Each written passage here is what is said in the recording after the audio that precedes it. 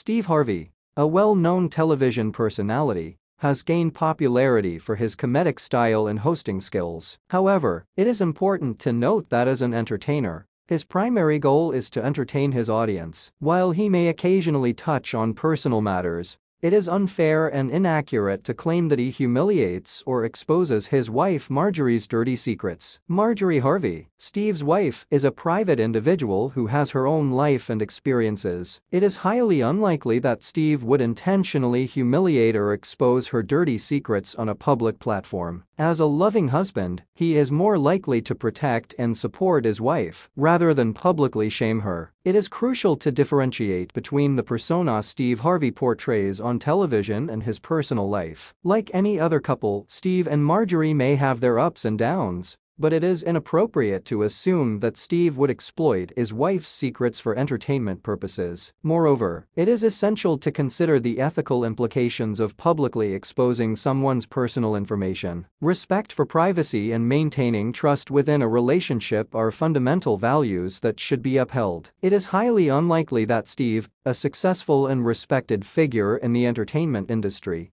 would jeopardize his reputation and personal life by engaging in such behavior. In conclusion, it is unfair and baseless to claim that Steve Harvey humiliates or exposes Marjorie's dirty secrets. As an entertainer, his primary focus is to entertain his audience. And it is highly unlikely that he would compromise his personal life or his wife's privacy for the sake of entertainment. It is important to separate the persona portrayed on television from the reality of his personal life.